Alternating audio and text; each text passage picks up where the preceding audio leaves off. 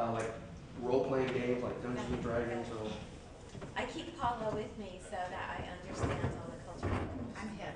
I could get even worse and just ask if you were a technical mage from, uh, which would really throw people off. Well, see, the thing is, I work for myself, so I can give myself any title that I want. So I have been like a senior technical fellow. I said, I, I use A7 computer level expert. Yeah, so I- That's obscure, right? I've been a PowerShell sensei. Uh, for today, I'm going to be a PowerShell mage because maybe there'll be some magic what I'm going to show you. So we're supposed to spend roughly two hours um, talking about a topic that I've called accelerated tool making, uh, PowerShell commands. Oh, yeah, I know that. Um, Jeff, I yeah. go to Mobility Center and tell it that you're presenting. That's fine. It'll- All right, fine. It'll be fine, it'll be fine. Um, What was I talking about? Oh, yeah, what we're talking about here. Uh, copy of PowerShell commands. Um, I do a lot of scripting, and I have built my own set of tools to help me build tools faster.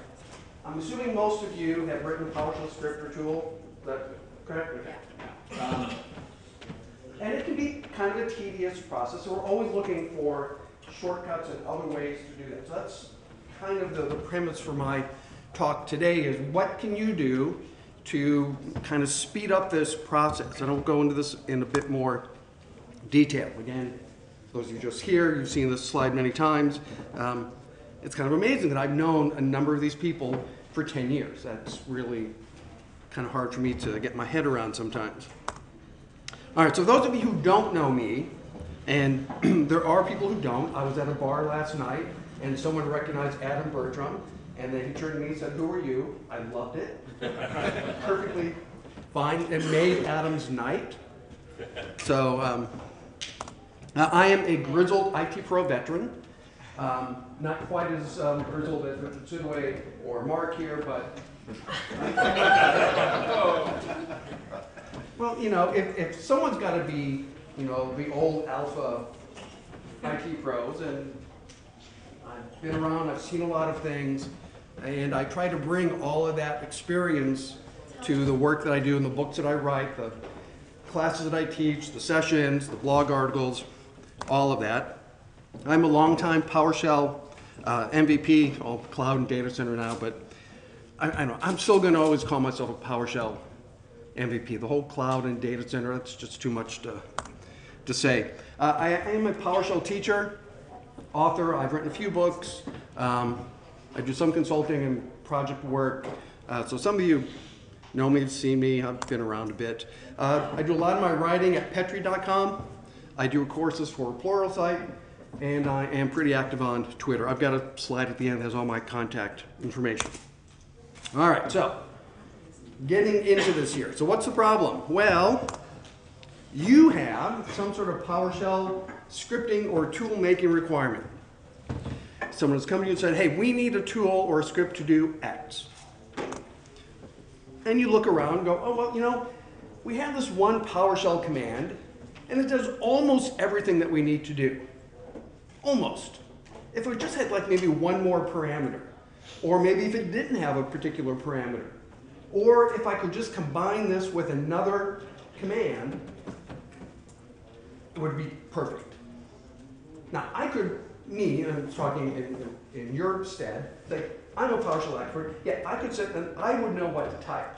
But often you're building stuff for other people. You don't want them to have to rely on knowing what to type, how to plug stuff together. You want to build brain dead simple tools, right? So how do we get there?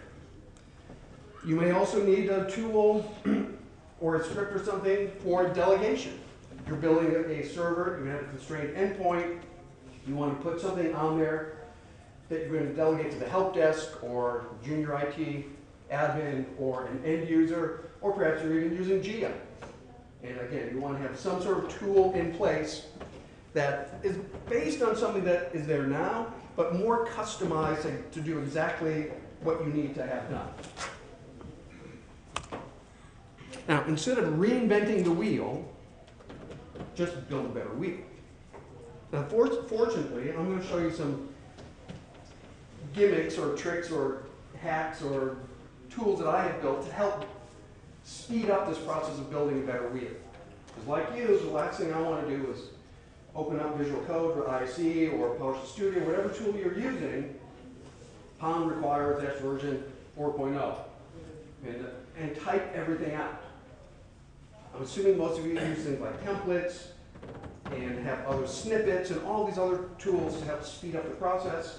Well, what I want to talk about today is some other ways we can speed up this process of building tools.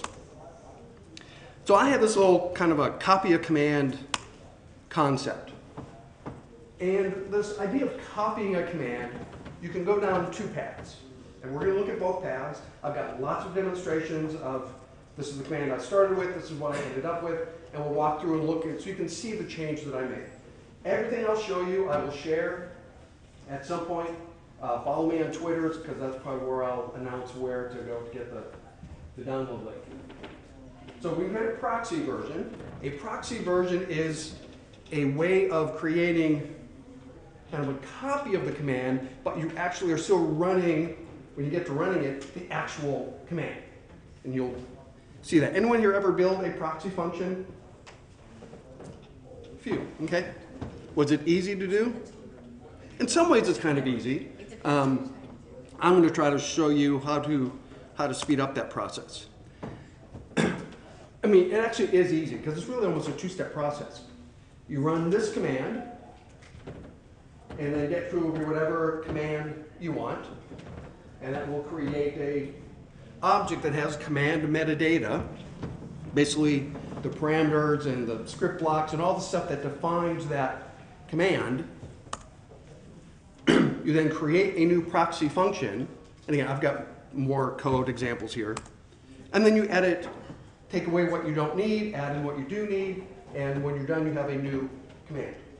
Your proxy command can have a totally new name, or you can reuse the name. Personally, I always come up with new names.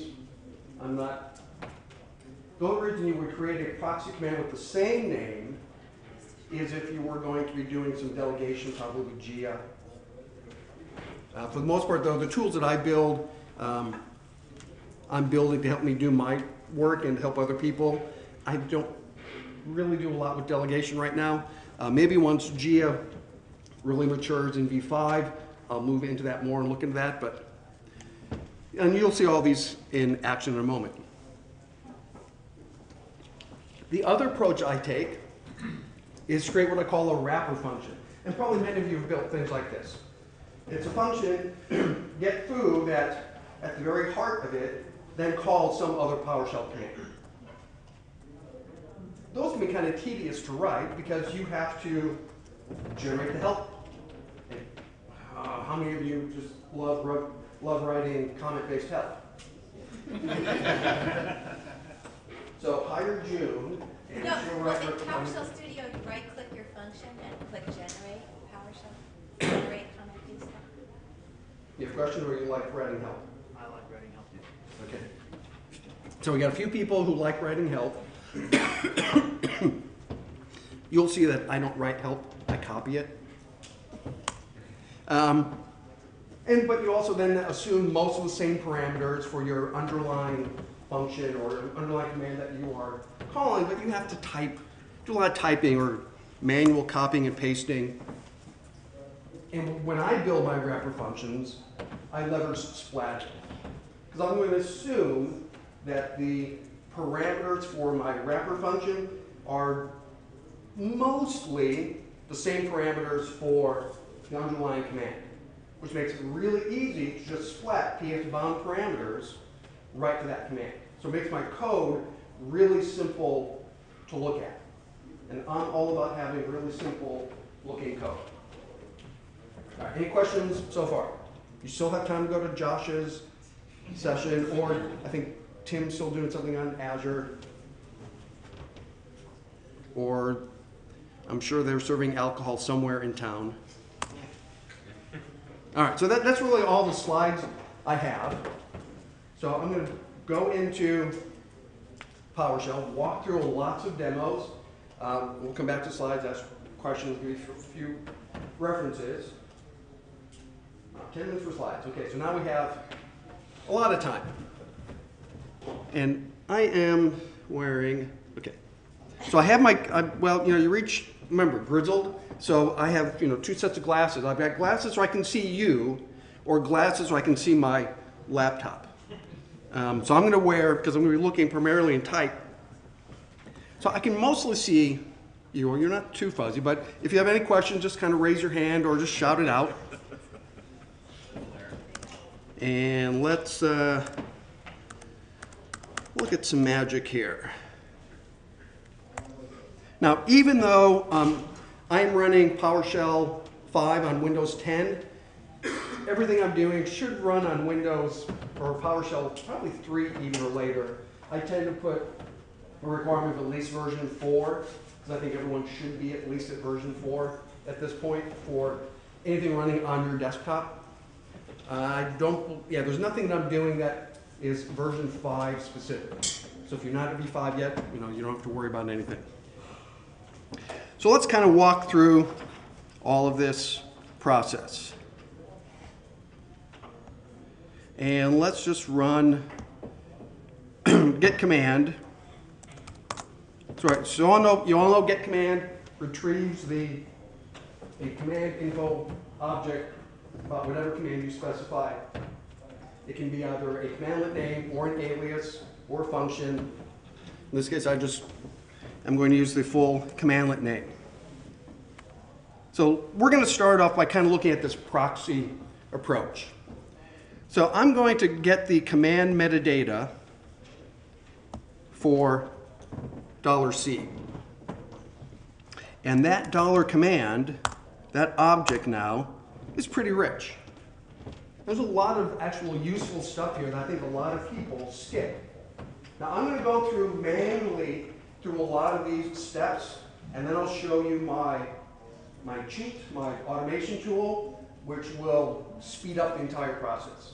Jeff, how, how different is the output from your commands metadata than just what you do if you looked at all the properties of get service? Of that get, co- of the command info object? A lot of it's, it's the same information, Right. but this object, this automation command metadata, Has some additional methods, Thank you. Okay. which we're going to take That advantage of here. does not have. Right, so it's more than just the properties. There are some methods to this object that we will invoke to make the magic happen. Thank you. So, like any object, of course, you know, you can drill down, so you can look at the parameters to get a hash table. This will be the same type, you can get the same type of information by doing get command and looking at the parameters. It's still there, we're just looking at it at a different way. And I'm showing you all of this so that you can understand where, when I get to copying and pasting, where the data is coming from. Okay, so it's coming from objects like this. And the, oh, Oh, actually, I'm, I might take that back. I may have misspoken here. Let's type dollar CMD. Get member.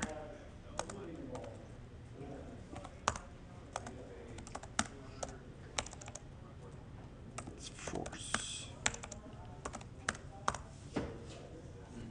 So actually, the methods we're going to use are for a different class. I misspoke. I'm an IT pro veteran, not a developer veteran.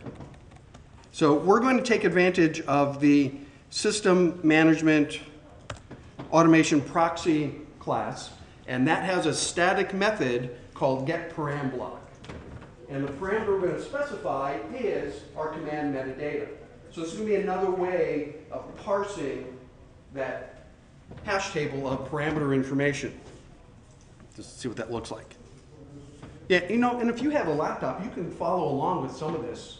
I'm not going to go really fast. so now we can see, question.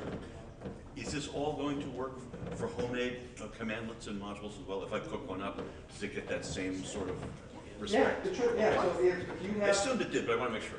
um, I think the only thing I would make sure of, if, if if you wanted to copy one of your functions, is I would make sure that you are using the command binding attribute. Yeah, sure. So it's, All, all the advanced fu- functional stuff. Right, yeah, so if, if you have an advanced function, the, the get command doesn't really care, it's going to still find the same information.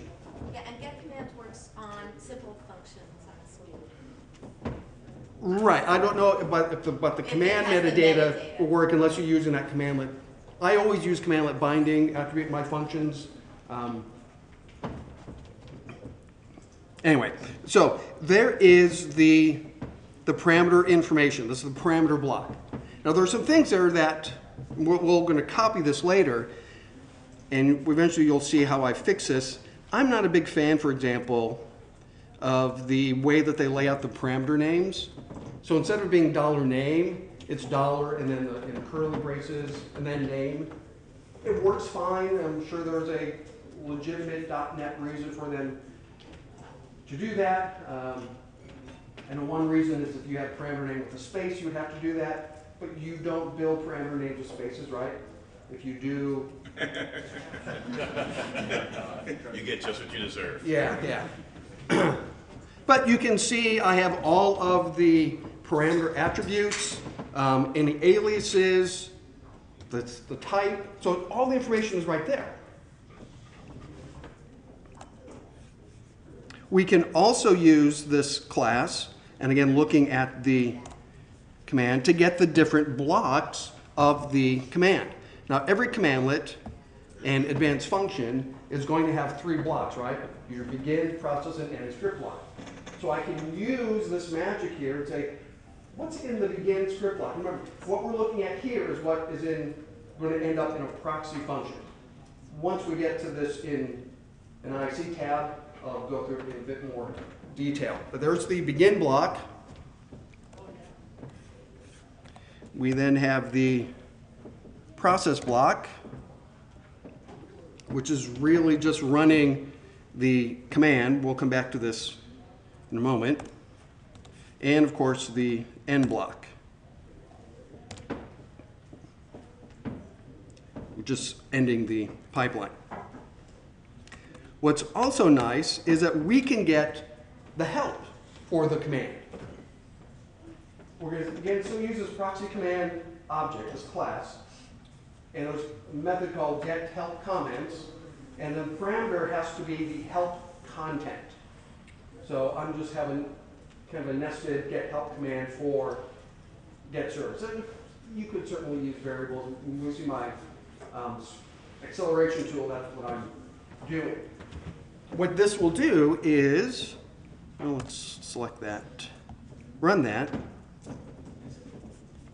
This gives you all of the help, basically in a text format.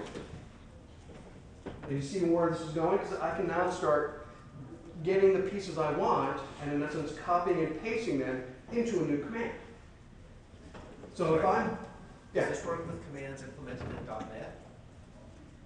Um, no, no, this is only going to work for a commandlet or a function. This won't work with any native .NET class, like the math class, for example. Um, for something like that, you could look to classes in V5 and build something new around that. If we have time, I have something that we can at least get a peek at to give you an idea what that might look like. Um, but that's kind of, let's see how quickly we get through this. Yeah, everything I'm showing you assumes that the command you are copying is just that, it's a command. It's not a .NET class. So then, if we wanted to, we could go ahead and create the actual proxy command. This is the second line that I had in my slide. and I'm just, yeah, I'm actually, I should change this, because actually I am using V5, has some clipboard commandlets now. So, Um, it's also, I think PSCX has had one for a while. yeah, or you can just pipe it to clip, Yeah, which, and you'll get a looked at it. number of ways you could do it. Um, so now, if I come here, do a new, paste it in. So there's the proxy command that basically took, I, I wanted you to see the different little pieces because eventually I'm going to break those out. But if you just create the whole proxy command like I did there, then you get all of that. So now all you have to do is just start whittling away or adding in what you need. Okay? Okay, Jim? Yeah. Well, I've been, so I've been writing proxy functions for years, and I did not know. And I've just been copying all the stuff. Yeah, I know. Thank you. Okay, okay. This is the only way I know to create a proxy function. Now, now granted though, it's not necessarily documented very well. Well, not a lot of people know about it. so there's some things here that you would probably want to get rid of or fix. For example, unless, this is all just right now a script. So let's say I was building, this is for a get service, right? So I'm going to define my new functions, call it get my service.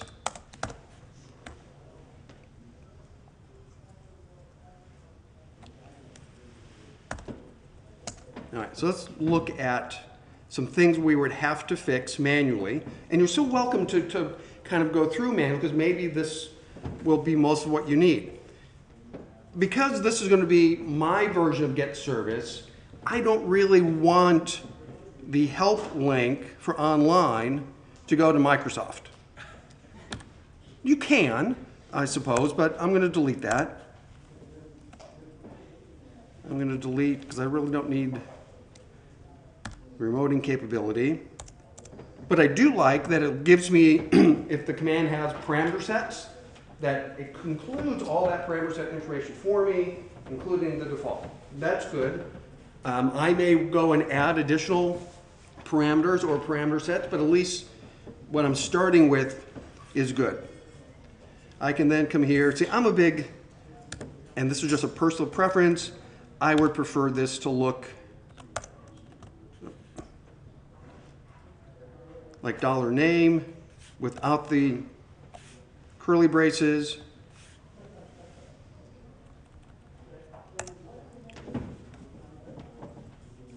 So you could go through and modify all the parameters. If I'm building this and I say, you know what, I don't want to have the required services parameter, I can just delete it.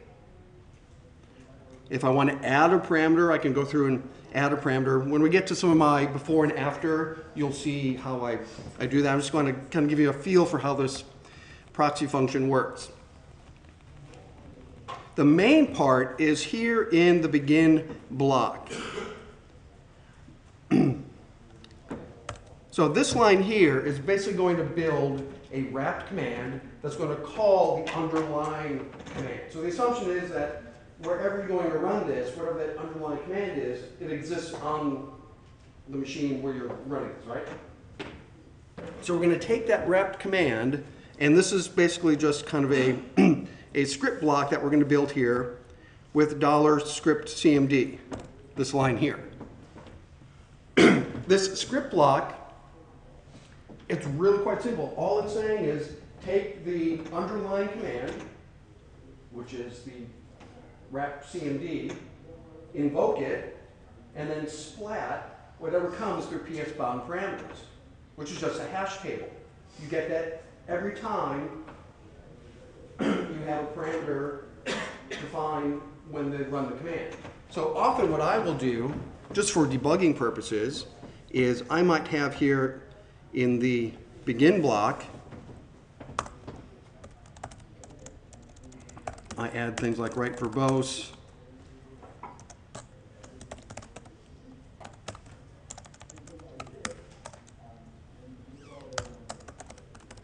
It has to be a string. So then when I run my command with verbose, I can see what the PS bound parameters were. It helps me when I'm trying to debug to figure out, okay, how come this isn't working? Oh, because I want to be able to see what is going through. Those bound parameters, are those just named parameters? or Yes, they are named parameters, it's where sometimes it can be a little tricky. Um, But that's why I do that, so I can see exactly what is coming through. Because if I set some defaults, sometimes that can work, sometimes not, so I need to look, I wanna be able to see what is coming through the command, what's gonna get passed to the command. And then, hold on just a moment before I jump the train of thought here. And then I will also, if I need to, if I, let's say I've added a new parameter.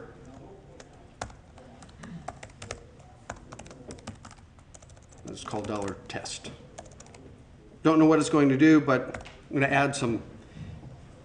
What I will need to do though, does get service know anything about the test parameter?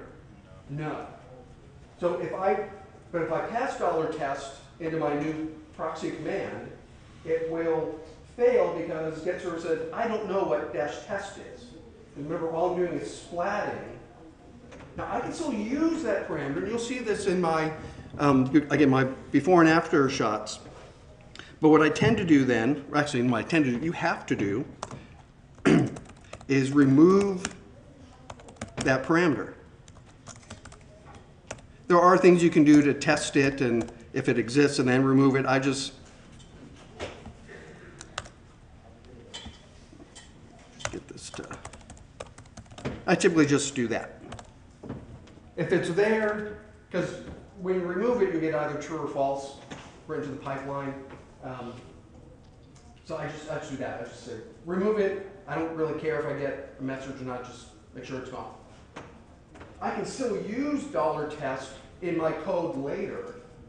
And what I typically will do is modify the wrapped command. So instead of using wrapped command PS bound parameters, I'm probably gonna expand that, or do whatever it is that I want to do. Most everything else will stay the same. Because at that point, all I'm going to do is just pass the parameters to the underlying command. Now, there's some questions over here, you in front. You mentioned when you debugging, you sometimes put out PS bound parameters, but if you're actually using the debugger, PS bound parameters still doesn't show up, is that? I, well, I do with a verbose statement. So I just run the command with dash verbose and I can see it. Okay. I'm not, to be honest, I'm not, I really, I rarely use dash debug Yeah, because I'm doing stuff with write verbose.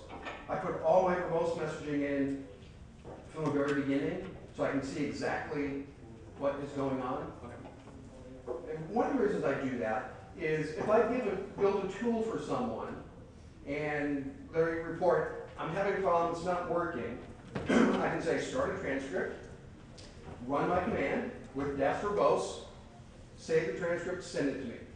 Then I can see exactly what's going on. Um, and because one thing you have to remember when you're building PowerShell scripts and tools is you always got to think about who is going to be running this. Is it going to be you? Is it going to be someone with who barely can type two letters without making a typo? How will they use? it? Will they assume to take something from one command and type it to your command? So you have to, you have to take those things into account.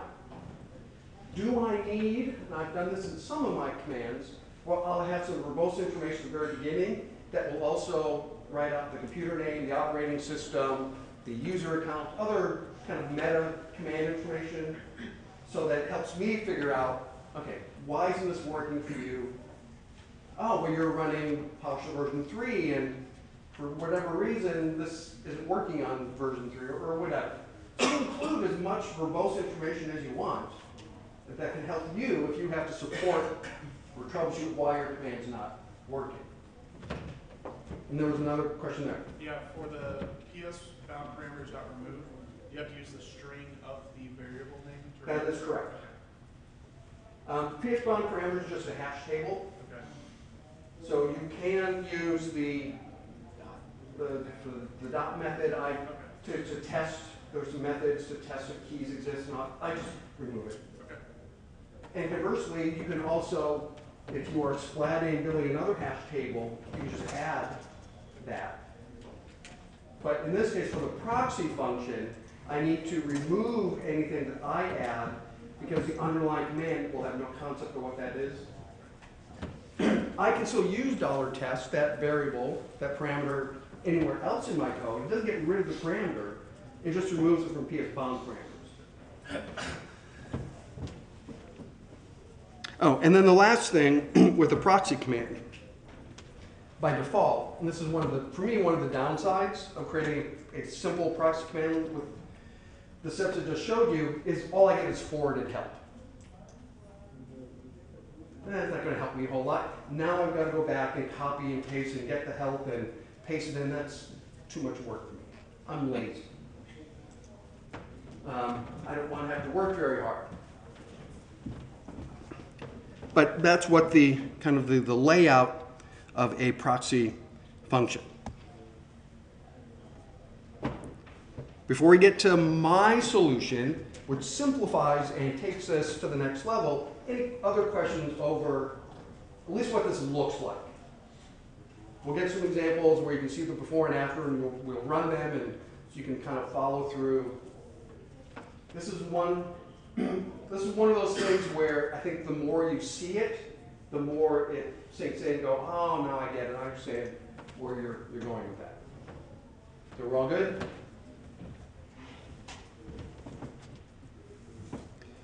All right, so let's come here and look at my accelerator tools.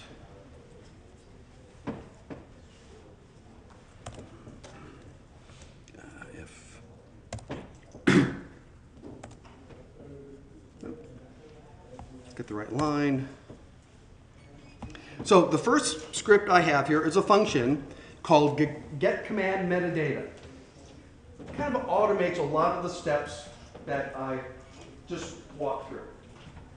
I actually have two commands we're going to look at. This is the first one. The second one takes this to a next level. I wanted to show you this just so, because this, this may be all you need for some of your needs. So what this is going to do, and we'll just skip the help here.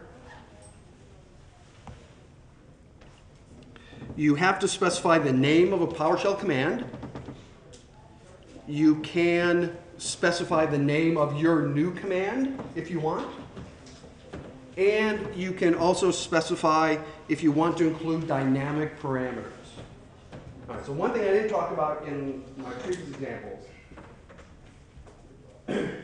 a lot of, number of commandlets have what are called dynamic parameters, which means you don't necessarily see them unless some certain condition is met.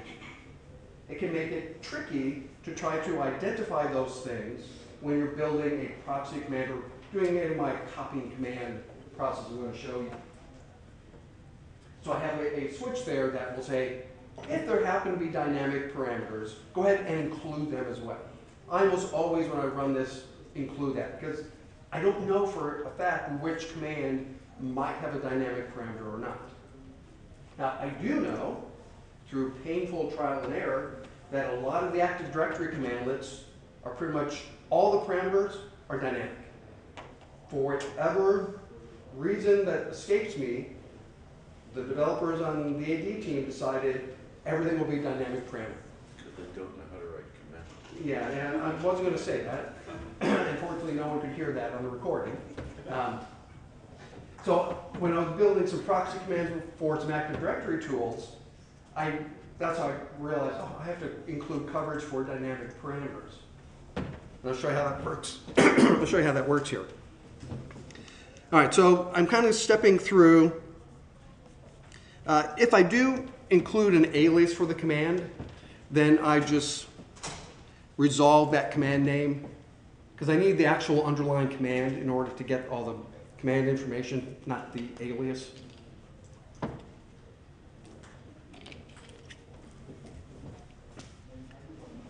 And you'll notice here, for example, you know, I'm talking about my write verbose.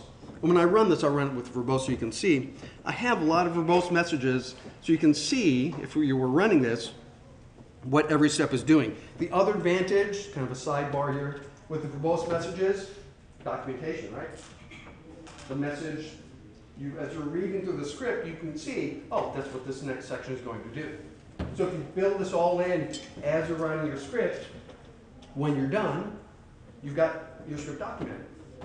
And you have useful feedback information for debugging and troubleshooting. All right, so we, um, here on line 65, we get that command metadata, we saw that command before. I then create the new name. If you specify a new name, I'll do that, otherwise just use the existing name. Now, this is a kind of a tricky part. This, I had to add this from the Active Directory stuff. It's very possible to have a command that when you get the command metadata, there are no parameters. That's what happens with the Active Directory commands. But there are parameters there, right? But they're all dynamic. So I have some logic here that says, if you do a get param block and you find no parameters, let's assume that there probably are some, and let's automatically, even though you didn't specify it, let's go ahead and get dynamic parameters. So I kind of take advantage and, so you don't have to remember to do it, I do it, I force you to do it. Otherwise you wouldn't see anything for, at least the AD commandlets.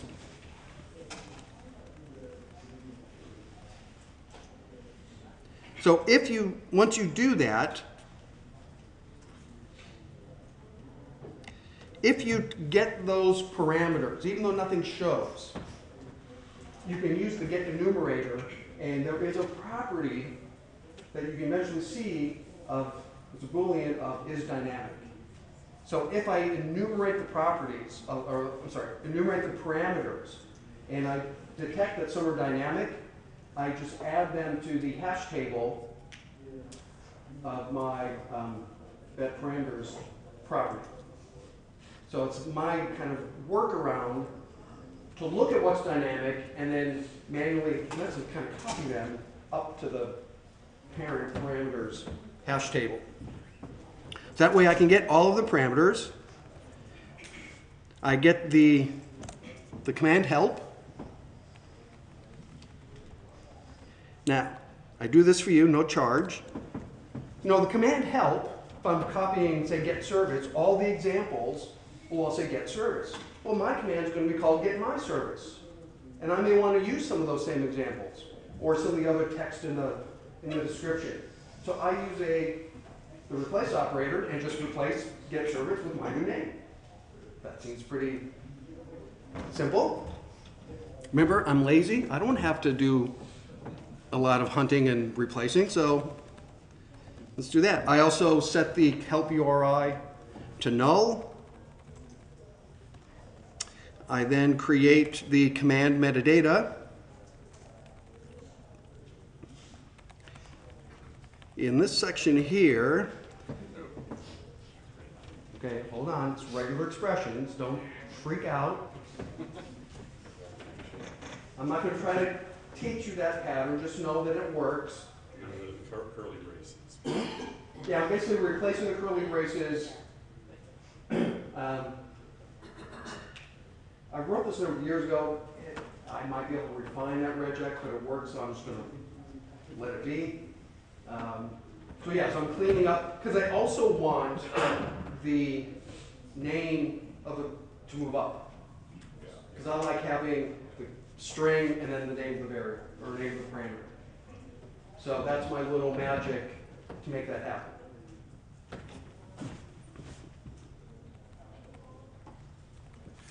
I also use a regex to find where the, that forwarded help, those forwarded help links are, because I don't want that.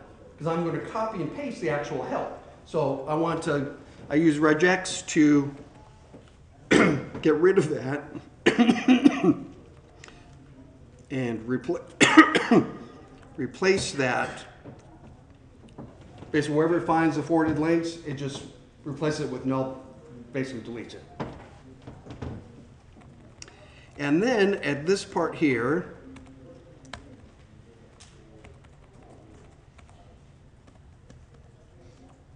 building a here string. This is the new command.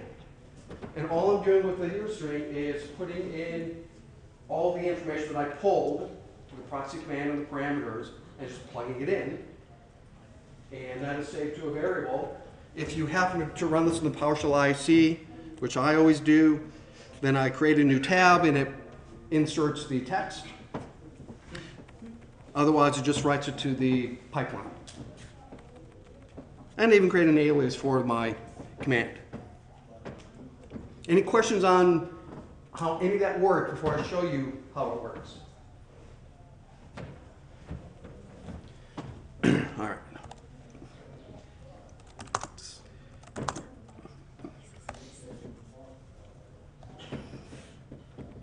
So let's dot source that.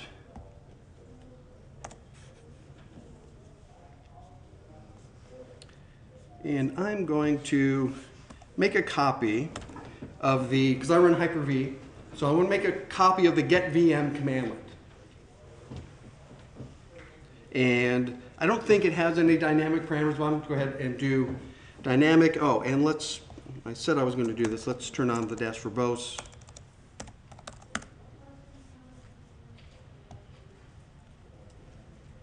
This will all work. All right, so there's all the verbose output, so I can see if something had failed somewhere along the way, I would know at what point I had to go back and look. That's pretty simple. so here is the final command. I'm gonna notice, see I called it get VM. Notice in the help, I changed all the help. Just gonna hide the help for now. Now, I take that back. My little magic isn't perfect. It does get rid of the curly braces, but it doesn't move it up. So that's not that bad. I just have to come here, hit delete a couple times, you know, clean this up the way I want it to be. But those are, those are all the parameters. And then I have the commands, you know, the proxy command. And so I've got the help, it's all cleaned up, it has my names. All I have to do is, again, whittle away what I don't want and add what I do want. So let's, let me see my next demo. I don't want to get too far ahead of myself here.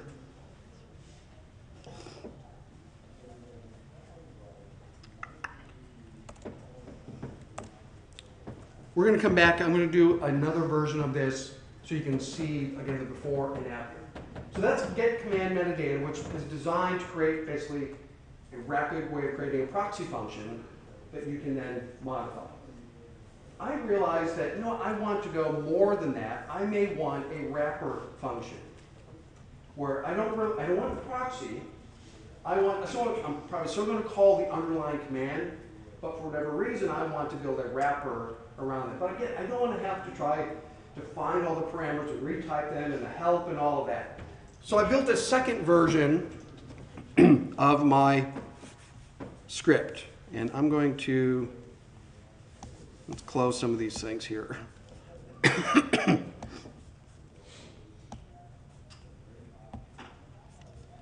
we don't need that. This tool actually is on GitHub. So my GitHub repo is JDH IT Solutions. Um, there's also a link on my blog, or ping me on Twitter if you can't find it. So let's, let's see, this is this command. We'll just hide the help. I also realize, in after I finish that first function that even though it was get, getting rid of forwarded help, well, there may be some instances where I do want to use forwarded help because I'm still going to create a new version of get service. It's going to override, and I'm still going to call it get service, and I want to show the forwarded help. So I want to be able to include that as an option. So I have a parameter there, a switch, say go ahead and use it if it's there. So don't, basically don't delete it. Um, the default behavior for this command is to create a wrapper function. Or I can use as proxy, and it's going to do the same, this is, a lot of the same code that I just showed you is in this command. the big differences here uh, help is that as I go through, I'm, again, I'm building a here string.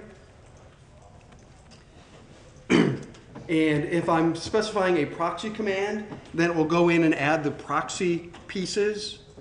Otherwise, it just uses the different commands that I showed you with that proxy object, the, the the proxy command class, to get the different pieces that I want and then manually paste them in. Uh, the difference being, so I'm inserting the parameters. The big difference is when I define, here on line 220, that process, that is what will show up in the eventual command that I'm creating. So I can either create the proxy version of it, or I can just build a wrapper that's going to run the command and then splat bound parameters. At least as a starting point. You'll see some of my examples again before and after where I go a little bit further than that. And even in my copied commands, you'll notice I have, I'm inserting write verbose commands. So you have no choice but to use them. All right, so let's see how this works in action.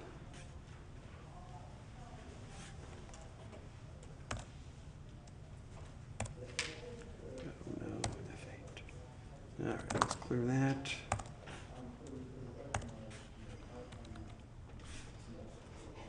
So I'm going to run get command, again, with get VM, called get my VM, include dynamic as a proxy. This is basically, this will give me, oh, no, no, no, no, don't run the script. Now, I need to do,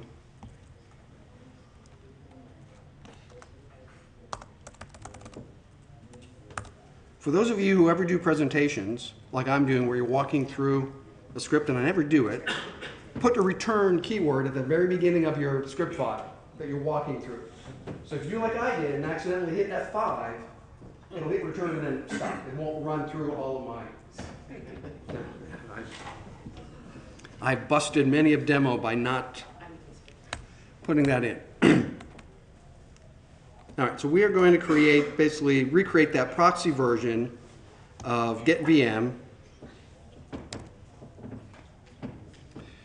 Few differences. Um, I've inserted a little header metadata, so it shows who created this, and it's a copy of what command, who created it, when they created it. I, know, I just personally I find that useful. I put in my standard disclaimer. um, I'm using the help. The help, has all been modified. Oh, this version, I fixed my issues with the parameters, so now I got everything up lined the way I want it to be. I have all of the parameter sets and the names.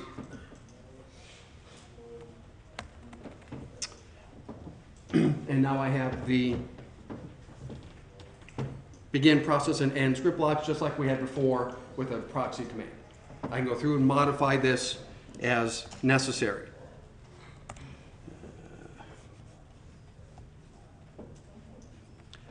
So what I did, let's just, so this is the before.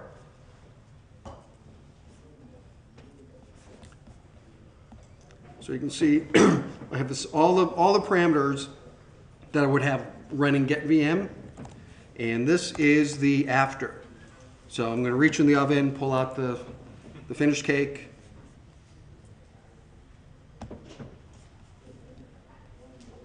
Which sure I'm on the right line here.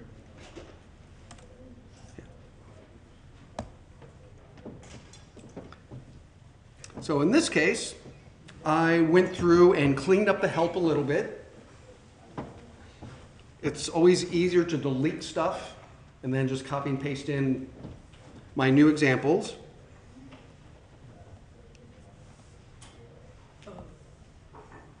Oh, my, this, um, this copy command script, or that function, will also detect if the command that you're copying comes from a module, it will make that a requirement.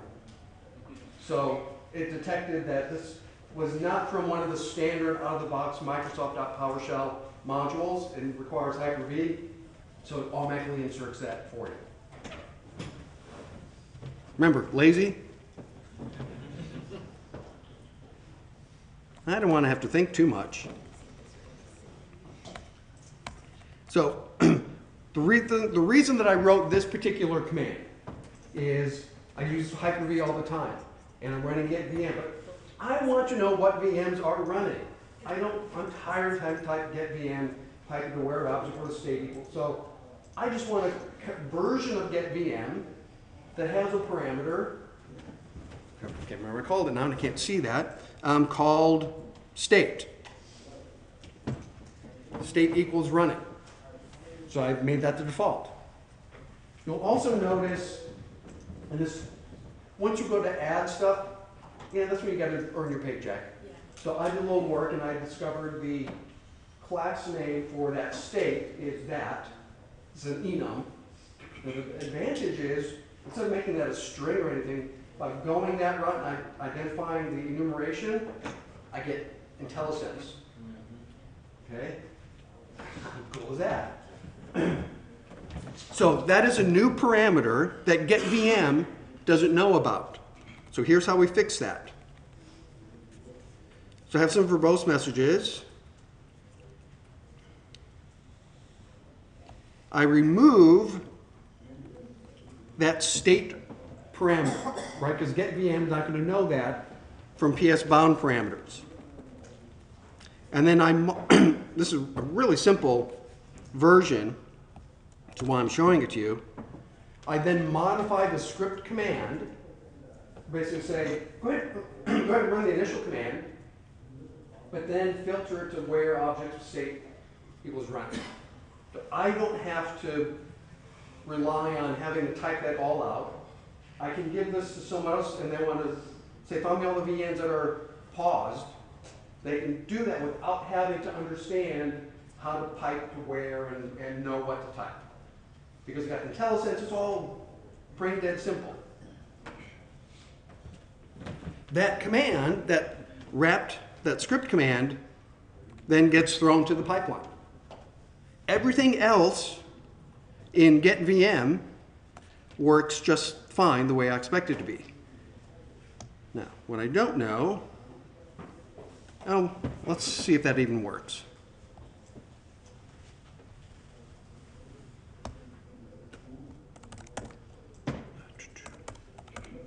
Let's, let's do this here first, just to show you. Look at help. So all the parameters and stuff are copied over from uh, get VM, and you can see my state parameter.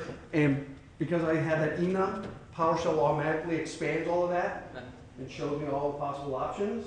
Kind of handy. And I, in my description, I say that it's a copy.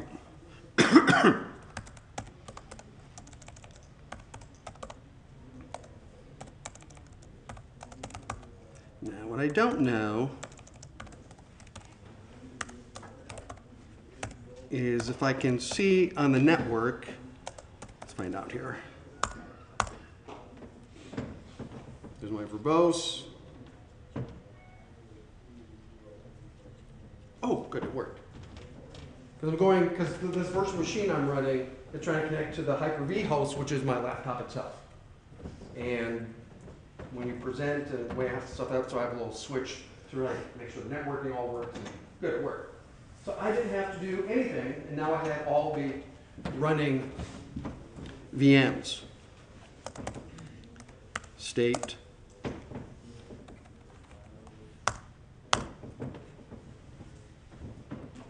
So very easily, I created a copy of GetVM, made my little tweaks, tweaked the help, done.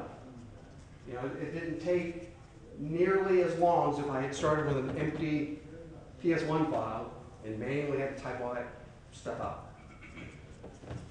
Questions over, and, and this is, you know, kind of a one-way reason you would use a proxy function. I'm still calling the underlying command, but I have tweaked it in a way. In this case, I've added a parameter. Yeah, What if instead of adding a parameter, you want to replace a parameter? So let's say like get AD user, you always want it to be dash prop, you know, department title manager or something. But you don't, so you want, you're wrapping or you're doing it, but now you're setting a default value on a, on a parameter that already exists. How would you go about wrapping that? You could use PS default parameter values and not do any proxy function at all. Well, well, but you always yeah, want no, those you to, Yeah, say if I'm but for a new command, yeah. and I want to set a, well, yeah, it, it, it should override that, or you can just explicitly in your command, Yeah, because you can still splat something and specify additional parameters. It's Okay. not an either or situation. Okay, so in other words, like if somebody tried to run it, and because properties would show up, they tried to set other things, then you were also setting it, would that override, would it? Well, are you conflict? talking about the properties on the underlying, say, user object? So, well, sorry, sorry, there's a command, sorry, I tried to make a bad one. Um, Get AD user has a, a parameter called properties, Right. right? And so if you, s- if you set that in your wrapper script to a specific value, but then somebody calling it also tries to set that, what happens or what's the right. It depends on how you've written your Okay. command. You Hold can- on to, to, to that thought. I have some Active Directory examples Okay, we'll get to later. Maybe you'll see something that will, okay. Answer that. that was just one example I'm wondering about, yeah. they shouldn't be able to override anything unless they open up the script file and modify it. Okay. All, all they're gonna do is see your command. Right, I I was, I was asking a way to write that to make it work that way.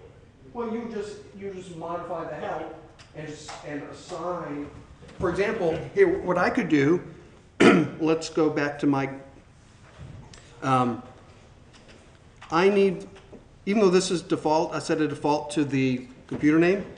Let's say I know that my, Just, just like that, okay. let's see if this will work. I know that my Hyper-V host is Chicago P50. Let's reload that.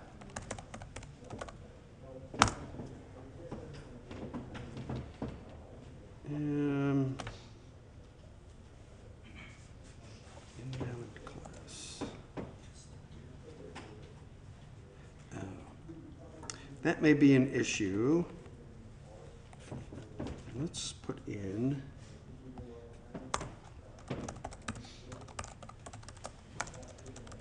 So we're going off the, off script right now. But that's fine, that's how we learn things. I can't type and talk at the same time.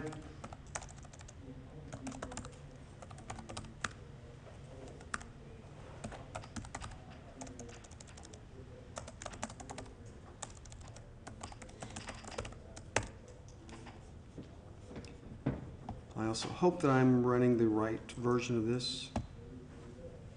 Alright.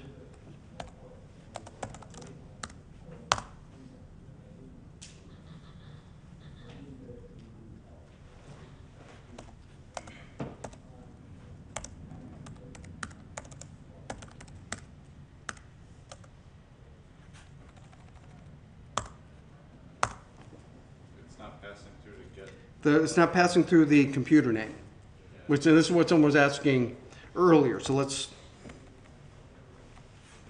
because it's, I didn't specify, so the PS bound parameters, so what I might have to do then is, and I don't want to, I don't want to totally delete, oh, I don't totally ruin my command here, but maybe I will. We're going to do this. I'm going to just comment out this parameter. Just because I don't want to have to modify my original command too much. Because this is kind of what you're talking about with the properties, all right? I want, for my command, computer name to always be Chicago P50. So I don't want to even make that an option for them. So I remove that from the parameter. So now what I can do here is I could, I could add it. So let's do that. Let's do PS bound parameters add computer name.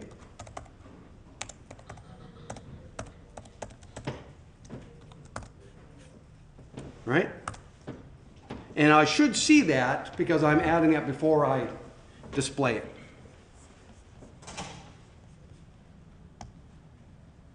Let's clear this here. There we go. Um, I'm not quite sure. Oh, because I have some additional code in there that's still relying on the computer. That's- But, but, so that's what you could do. You would just remove properties from your pro, from your, your version of get AD user, and then just hard code in whatever other commands you want.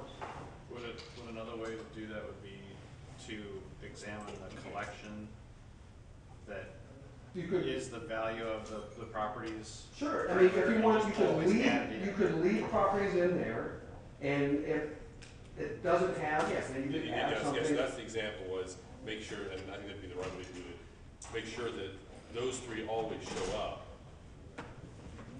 regardless of what else they add to the property. Right, a couple different, couple different ways that you could, could do that. All right, let's, um, move on here because I'm amazed an hour's gone by already. Or, this is another version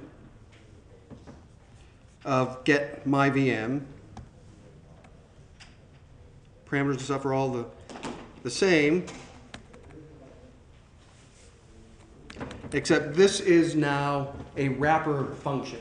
So it's not a proxy. So basically all I'm doing is saying, take whatever parameters come through PS bound parameters, and then just splat it in the process block. And that's it. It took like no time to create an entire working function.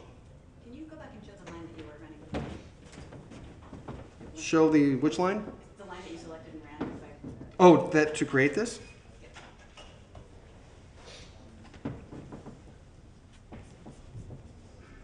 So I just ran my command, my copy command function, so so I can get VM, the new name, include dynamic just in case, done. so is the as proxy one a replacement for the older? Yeah, but the proxy, if you do as proxy, then it creates a proxy command version with the steppable pipeline There and the to a wrap separate- stuff. There used to be a separate function for that, right? And you've now modified copy command to include that? Right, right. The first command, get command metadata that I wrote, just does proxy functions only. This version, copy command, because that's what it does. It allows me to copy an existing command, and I can either create a proxy version of it or a wrapper version of it. Which kind of brings me to my next question, and talk about which is better. Why would I want to use a proxy function, and maybe why would I want, want to use a wrapper? Anyone? Yeah. Well, what you're doing if you don't use the steppable thing is that you're actually invoking the inside command multiple times, and the behavior's not always gonna be the same. Okay. Which may or may not be, depending on what you need to accomplish, that's a, and that's why I want to have this quick little discussion here, is to, there may or may not, actually, the only way you're going to know which is the right version is to probably do both and test. Um, It may also depend on how much you need to add or delete. Do you need to put in stuff, you know, I have to ensure that these certain things are met? How much more difficult is that? Um, proxy functions I find a little harder to troubleshoot because everything's kind of nested in those steppable pipelines versus the wrapper function. I mean, if you look at my, at the wrapper version that we just created in Untitled 7 and my mouse. This is really simple.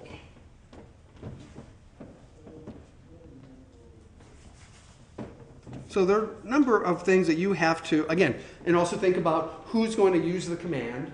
Are you gonna be piping stuff to it? Um, Will they need access to other commands, or they may be part of like the get VM stuff? I don't know. So you have to kind of make those decisions, but I have a tool now that you can use to do, go both ways. And you can de- decide. And it does not take very long to create something totally new. So here is the finished version of Get My VM 2, which is the, the wrapper version. So in this case, I put, I hard coded in the computer name.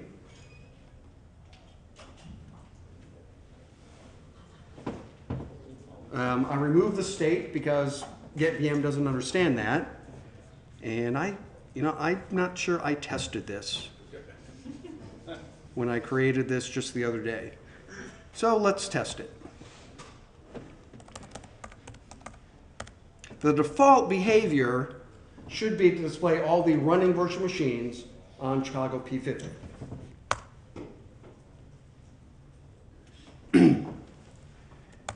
And again, I didn't, I didn't put in my, oh, let's do this with verbose, because I bet I'm having that same issue with the PS bound parameters. Oh, not clear screen verbose, that's kind of silly. Yeah. Okay, so, yeah, I, so I gotta test everything, and I, I modified it, but I never went back and tested it. So I need to go through and do the same things I did before, and probably just get rid of computer, well, no, because I still wanna give them the option, but I want it to default.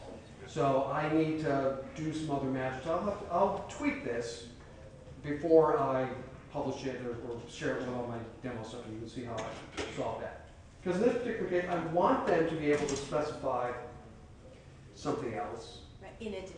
in addition, but have it default to the current one, so I, I'll have to go back and, and look at that. All right.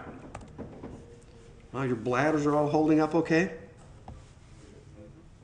Because we still have like fifty minutes, right? Um, okay, I'm gonna quickly go through this. Because a variation on the copying commands will, would be to create commands based on CIM classes. So instead of mucking around with CDXML, unless you just really hate yourself, create either proxy or wrapper functions using getCimInstance for whatever class you need. Now, the nice about getCimInstance, the reason I like the wrapper is because I then can very quickly either use computer name or CIM session. I don't have to try to generate the right parameters for that to happen. So I have some tools. So you, you could just, again, you could use the same idea of using copy command for get CIM instance and create a proxy function, let's call, I have called get CimOS, because the goal will be to create, to use get CIM instance, Win32 operating system, and return a preset value, preset um, collection of parameters, uh, properties, sorry. So the final version of that, that's the command, again, going into the oven, is this. We'll just minimize the help. So I didn't have to write all that code for the parameters for computer name and CIM session. I have my verbose output. I'm adding, in this case, I'm adding particular parameters for the class name and the namespace. And I'm then splatting that. And I'm also doing something a little extra where I am inserting a type name for the output. Because at the end of my script here, I have some additional code that I wrote to update the type data and format data. So this is all in one. You could build this in a module. I have, just for the sake of demonstration, all in one script. So if I run that, that loads function, adds all that type information, and let's see if this will work now. Gets- So the default should be for the local computer name. Computer name.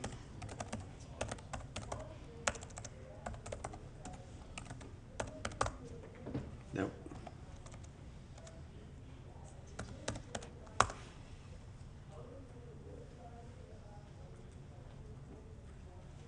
Oh, core zero, one, not zero. That's why.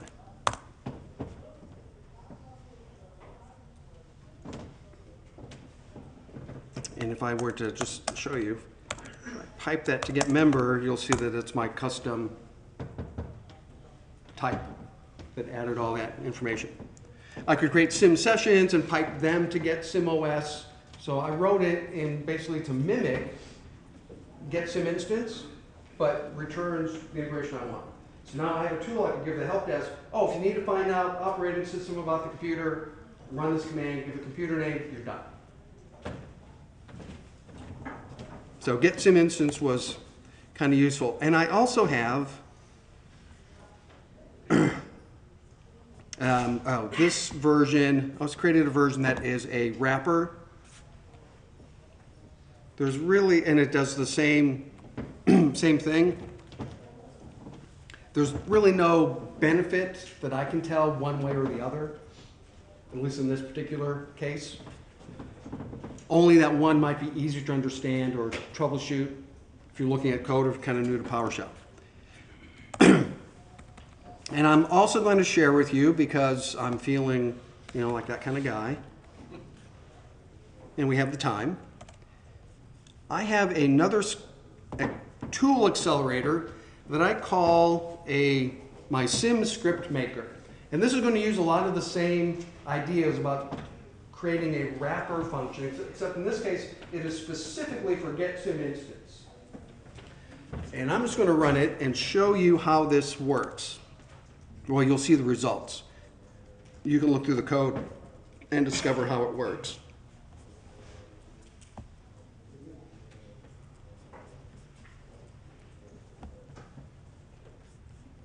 And this is just, it only takes one parameter, the computer name.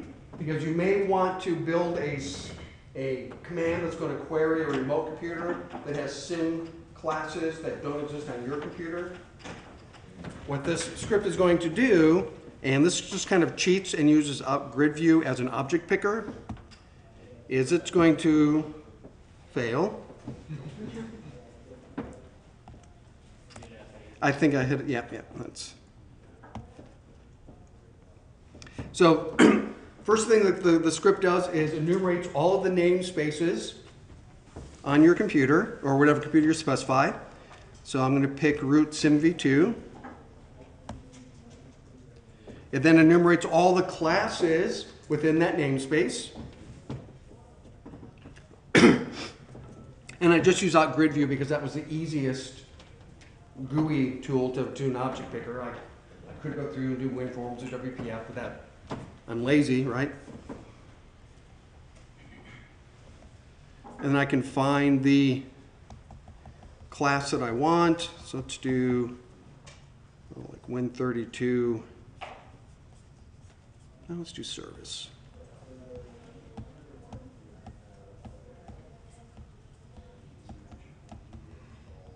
I could filter, but I'm committed at this point, so.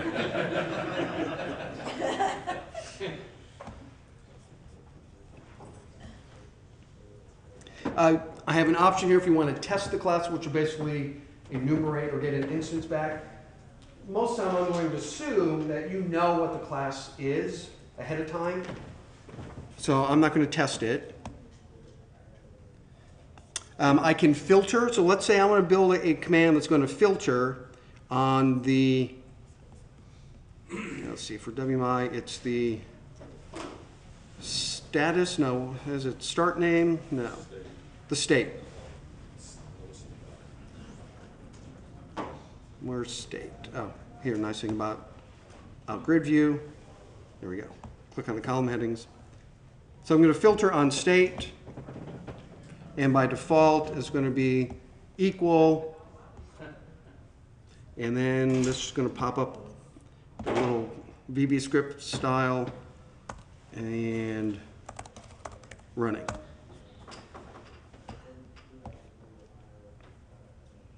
I can then select the properties I want to display. Let's just do description, name, status, start mode, path name, start name. And then it creates a new command. It saves to the clipboard. And let's, let me come here and paste it in. Generates a quick little help. Puts in all of the parameters. Now, I still may need to, to test this and tweak this a little bit, but all of that grunt work is done. I just had to go through CIM, basically a wizard to pick what I wanted. Remember, lazy? Um, now, yeah, I mean, it took me some time to build the first tool, but now you don't have to, to do it. So win for you. So this is another way, basically, I built a wrapper function. I'm still running get some instance, but everything else that I want to do, it's all done for me. I didn't have to create any of this code really from scratch, as you saw. All right, questions before I get into the last part here and we look at some other uh, before and after tools. No, we're all good? I'm just curious, have you ever built anything to wrap um, command line executables? Um, I have done things to I mean, take the output. Um, yeah, that, that's a little tricky because you're not really wrapping. Yeah, I've done some stuff with like netstat to build a command that would run netstat and then parse the output. Yeah. So you could do that. I don't have anything, any cheats like Yeah. these Yeah, they really could be. Because every output would be, would be different. And hopefully, you know, there are PowerShell versions or tools to do what you might have been using command tool for. Not always, but. All right, so here is, let's run, take a look at my, get my AD user. So I wrote this function. This is a, let's just hide the help here. And this was created using my copy command for get AD user and it automatically got all of the default parameters because from being dynamic.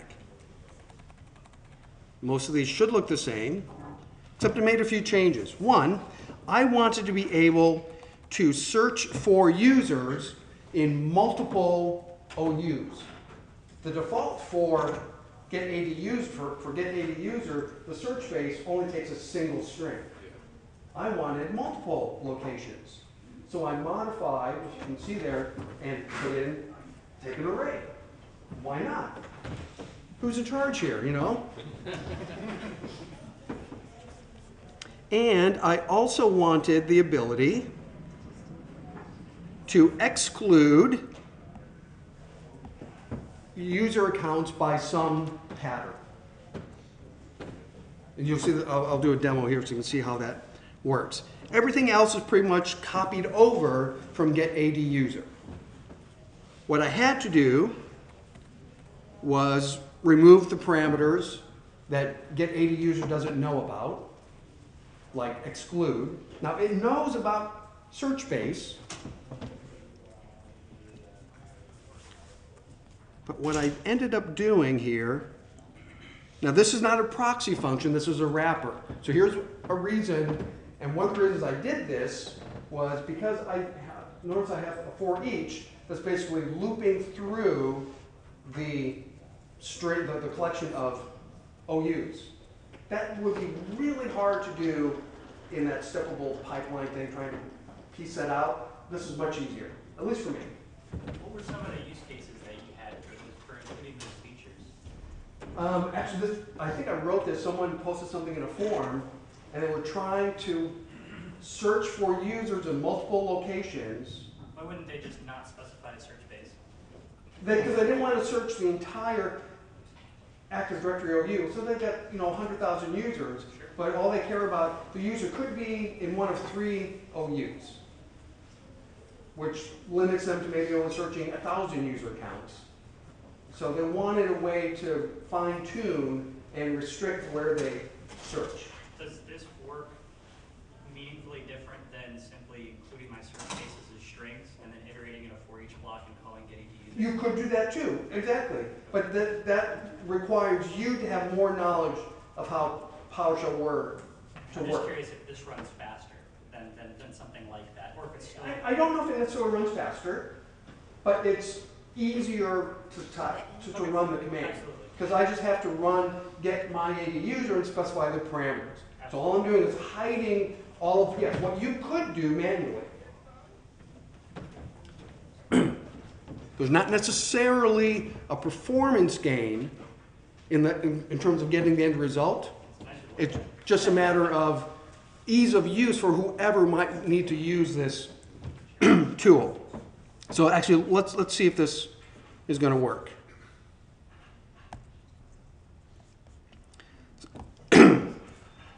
So let's not source that. Okay, so I got, now this does require an Active Directory module. Now, if I look at help for get AD user, the original command, you'll notice there is no parameter for exclude, right? Nothing up my fancy sleeves here.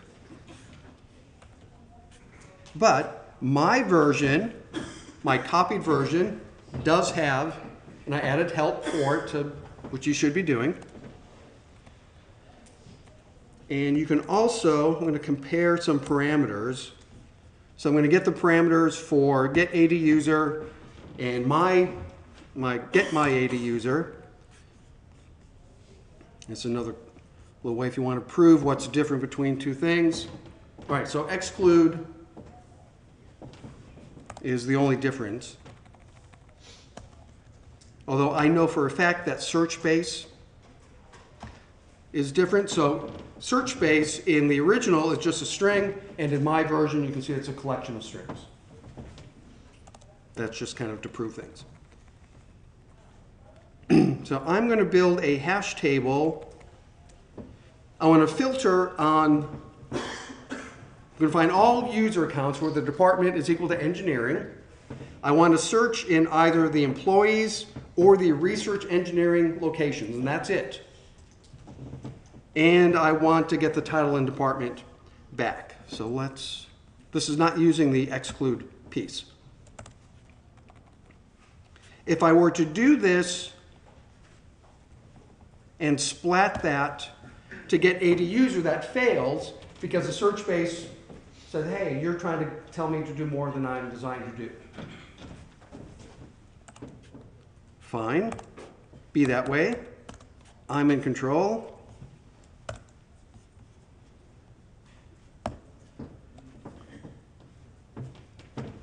So there's the result. So I searched using the AD user, and I just had my wrote my own little code very quickly. That when I made the copy of the command, the only code I had come up with was really just that little bit in the process block.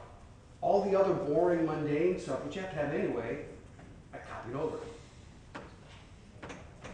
So, and that ran pretty quickly, considering I have like 5,000 plus user counts in my domain. And if you want to see how the exclude works, so I want to find all users in the domain except, oh, so, so the exclude is actually for a particular container. I want to find all users that have a name like Joseph, but skip anything that's in the testing OU. Because get AD user has no way to do that. And that's actually probably more typical use case. I want to find something, but I want to ignore, there's no easy way to do that in, with get AD user. You take a long, a complicated command, so, but I put that in. Um, another before and after. I wrote a, I, I copied my, I copied get history and came up with a new version called, I call it get my history. And what I have done is added parameters to specify a regex or unique because by default, get history will show me everything. And I have two use cases. One, I want to, I want to do get history, but I want to filter out all the duplicates. So just show me the unique ones. Yes, I know you could do that manually, typing out the long command, but I, I'm just going to screw that up more than likely. Or my other use case was, I know I, I wrote a command and it had this pattern. So I wrote a parameter and added some code into the wrapper to use irregular expressions to get the history where the pattern matches the command line. Okay? Again, I don't want to have to try to remember how to do all of this manually at the console or rely on someone else to know what to type. I want to build a tool that they can use using copy command. Again, generated all the boring, mundane stuff. Then I just had to write the little fun pieces, like regex. Oh, I also wrote another version called show history.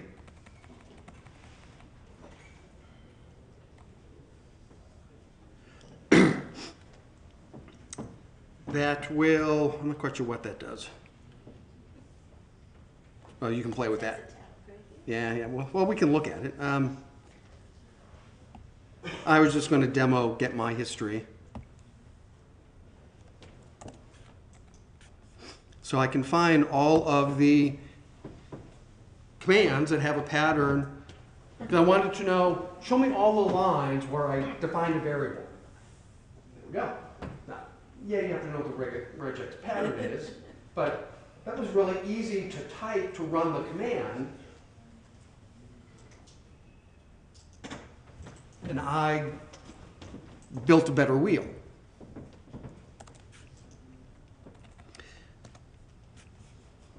Uh, I did another, so I'm not going to do the cop command, I'll just go right to the final object, the final uh, result. Uh, F8. So I built another, this was before version 5 came out. How many of you have ever used Tee-Object? That's a pretty handy commandlet that I don't think a lot of people take advantage of. With Tee-Object, you can run it and get the command at the console, and you can save it to a variable or to a file. I'm not satisfied. I said, I need it to also go to the clipboard. Because I do a lot of writing, and often I need to run the command, I need to copy the results to the clipboard so I can paste it into my document that I'm working on.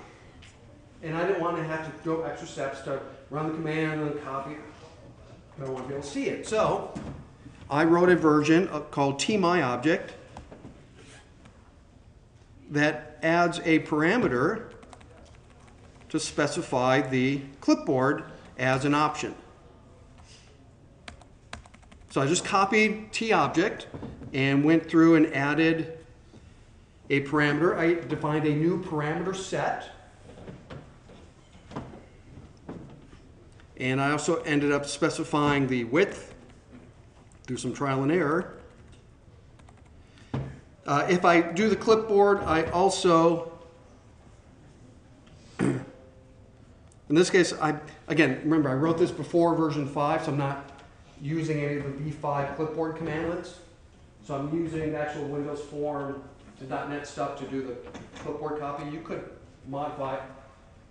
What I found, you see some other regular expression stuff, when you copy stuff to the clipboard, I was getting a lot of empty space at the end, which screwed up when I pasted it into a document. So I've got some regex to clean that up. So I added all that. Again, this is just a wrapper. But now if I run this, and let's just do, oh, let's do this, get my VM, t my object, clipboard.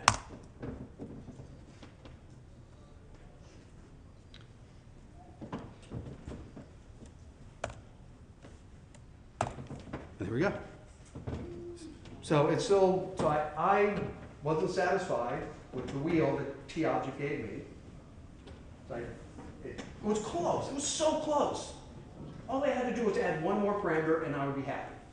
Well, Microsoft's not gonna make that change for me, so I did. A lot of the stuff that I write, either as a result of something that I need, for either training or because of writing, or something that comes across in a forum, and where I say, well, a lot of people would probably have that issue, and I can use it then as a teachable moment.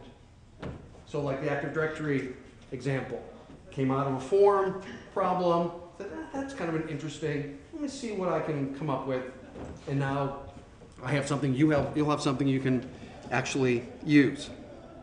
Uh-oh, they're having fun next door. Yeah, but they're not fixing tape. We're having fun here too. Very quiet. You're just. All right, so eleven thirty.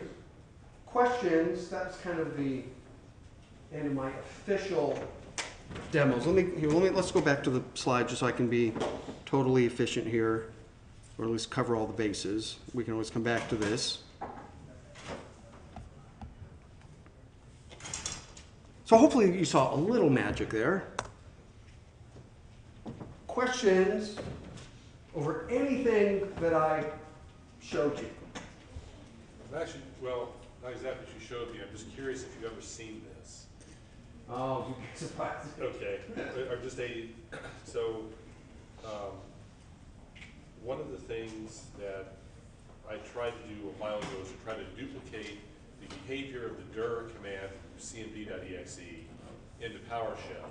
That a bunch of people who absolutely would not use PowerShell as their shell solely because they're used to dir and all the weird ass ways you could use it in cmd.exe.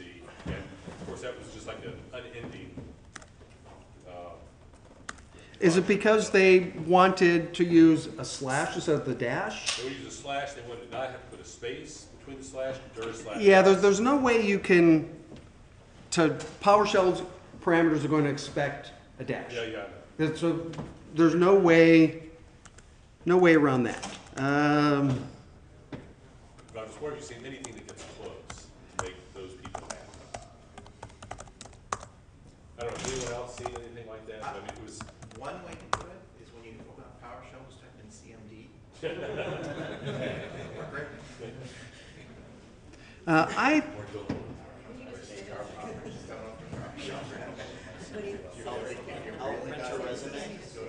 yeah, I, I thought that I had written a, some other directory, I, I know a number of commands, scripts and functions to get better results for um, the dir command, not necessarily as a complete replacement, although I thought I had something, uh, I'll, I'll look. it's all right, it's fine, it's just, it was a case where we were finding ourselves having to write, you know, enlistment scripts and things for our developers in both, s- you know, things that work in cmd.exe and PowerShell. They just need to get over it. Well, Sometimes it's easier to fix the person than it is. well, I mean, that's, yeah, easy to say, hard to do. You said Other questions, yeah, So this is, this is maybe more of a comment than a question. okay? What you're doing here is, is- re- and it's really exciting, by the way. It fits into the general category of code generation, Mhm. right, of automatically generating code. And what are the knocks against code generation? has always been that, you know, you, you make this new copy of a bunch of code and then you tweak it here and you tweak it there, but now you're sort of stuck. So if the original mechanism by which you generated that copy changes, like you showed how you Yep, moved the yeah. little curly braces around the names, Right. you're now stuck because you have to reapply all that stuff. Yeah, And it, one of it the might, way- yeah, if you build a command Yeah. that's built on, say, Microsoft Command Line, and Microsoft in the next version of PowerShell introduces a breaking change, yeah, you may have to go back and, And absolutely. The only, the only note is that the more of these automatic tweaks you can build into your original script, and the less you have to tweak afterwards, the better off you are if you have to rerun this thing later, right? And that would be an, a situation where using the proxy command is maybe a better approach, because you're not relying so much on the, the command, you're gonna just send it the parameters. Your changes go in modifying that script CMD script block. So if you are, if that is concerned, then a proxy approach would probably be the, the better way to go. But certainly, and I write stuff like this primarily because a lot of IT pros don't like to type, they're not very good at it. They know they should write a script, but you guys are all, you know, you're crunched for time. You want, and that's what people, they post in a forum, I need a script to do X. Well, we're not gonna write a script for you, but let me give you something that will help speed up the process. So I'm always trying to find shortcuts and ways to take the pain away and the, the grunt work so that you will put in comment-based help. Because you don't have to do anything, it's just gonna copy, you just have to then edit what's already there. And editing is a whole lot easier than typing it from scratch, right? So, I'm assuming, you know, everyone's here basically IT pros, and you're crunched for time, you needed this yesterday, and I don't have time to sit and write a complete thing from scratch, I don't, I'm still learning. You still need to know PowerShell and- and understand some of the things, but you could run my command to generate the new version of your wheel, and hopefully then have enough information. Or if you get stuck and you post in the forum, say, I've got this version of my, this, I'm building this script that basically is wrapped around get AD user, and running into a problem, how can I get around that? So then you just focus on the little pieces that you want to change, and not worry about the rest of the stuff that you need. There's another question over here, someone just stretching their arm, here. When you brought the, the uh, dynamic parameters over, any logic associated with those dynamic parameters was, was maintained there? Oh, that's a good question. Because- Um, Because if you've got something like get AD user, and It you have doesn't- dynamic parameters associated with that. No, you know, that, that, that's a good point. The, and I'll have to test that. Um, For example, the dir command has the dynamic parameters for file and directory. If you're in the file system, you get those parameters, but not if you're in, say, the registry. So if I were to build a, well, let's just, uh, how much time do we have here? Uh, I'll, I'll work on that. Um, the include dynamic parameters is at least getting the name.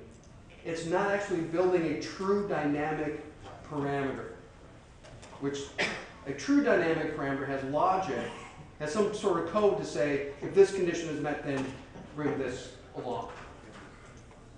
The main reason I had to include dynamic was to get around the Active Directory issues. Because for whatever reason, they, those commandlets are, and I don't know why, well, because they don't know what they're doing, but I don't know what logic is saying make this dynamic. Because it's not dynamic in the way, like, I'm in the file system, so make this parameter available. They decided that all their parameters are just going to be defined as dynamic, which is a little bit different. But you're right, I don't know if my copy command, I know it doesn't make a true dynamic parameter, it just gets the name, identifies it. So you would, you can still make it dynamic if you need to. You have to go back and add that piece back in. That's a very good point. Other questions? Was any of this useful or magical or? Great.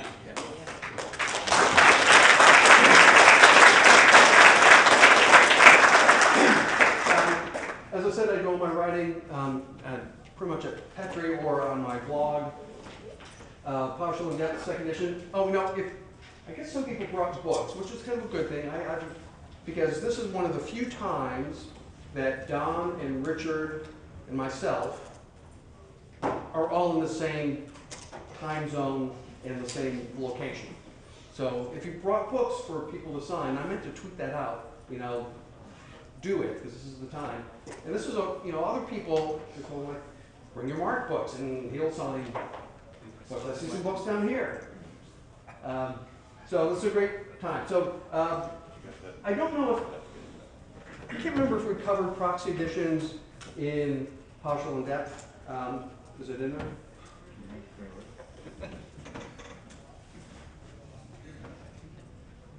You know, three of us wrote this book, and I don't know what's in it. I know the stuff that I wrote. And.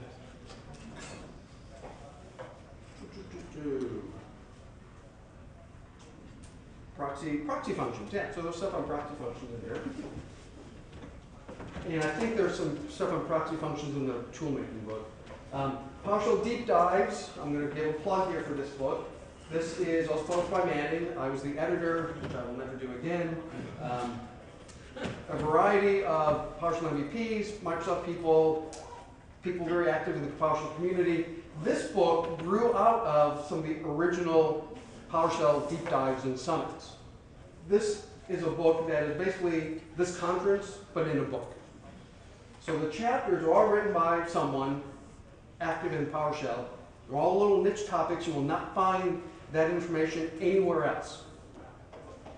And what made this kind of special is no one got paid. This, all the proceeds for this book go to charity. So you should buy two copies. Uh, if you go to Manning and order and buy the book there on, on the Manning website, you can get the, I believe you get all the ebook versions for free. So don't go to Amazon if you want the ebook versions. Um, anyway, so play through that because it's for charity and you will learn stuff about PowerShell that you won't learn anywhere else. And then my contact information, if you need me, um, I'll be here the rest of the day and all day tomorrow. Uh, that's where I blog. Uh, you're welcome to email me. I also have business cards if you need that sort of thing. Pretty active on Twitter. You can kind of find me on Google Plus every other day or something. Um, on Twitter, let me point, also mention this. Um, Adam Bertram and I, on the first Friday of every month, host, host, kind of, a PowerShell chat on Twitter. That's uh, first Friday of every month, 1 p.m. Eastern Time to 2 p.m., an hour. So we just get online, we use the PS Tweet Chat hashtag, and we just kind of answer questions or chat and find out what people are working on. Or, so if you want to hang out, or just even kind of lurk and see what people are working first Friday of every month, um, I try to send out some tweets, you know, before that to remind people, but something else to think about. Anything else? I will make, I, I will tweet once I get all this stuff up and online, but might not be till next week. Um, questions? So I was just gonna ask if it would be on your blog or, Yeah, I'll, I'll post something eventually also on my blog. Um, I'll have to, everything will go in a zip file, uh, might go in a Dropbox link, but I mean, eventually I'll share the, the link. Uh, they, I don't know, I gotta talk to Richard to see if they want it here, or maybe the conference website, but maybe a couple places, but yeah, let me package everything up. Um, I wanna fix a few things. All right, so, thanks. Uh, do the evals. Uh, make sure we clear out of here right away. That way, good, we're plenty of time. We're keep Don happy. All right, thank you very much.